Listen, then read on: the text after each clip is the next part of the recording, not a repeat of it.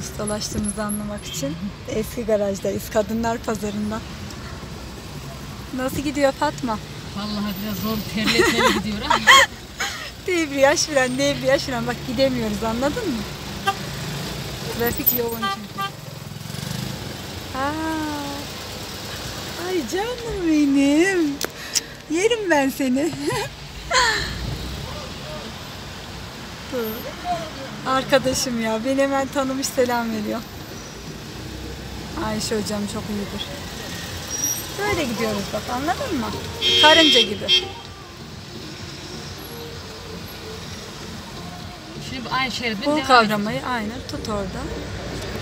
Bak biraz yürüdüm debriyajı kapatıyorum.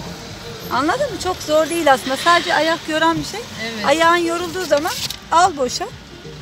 Bırak debriyajı. Bırak debriyajı. Bir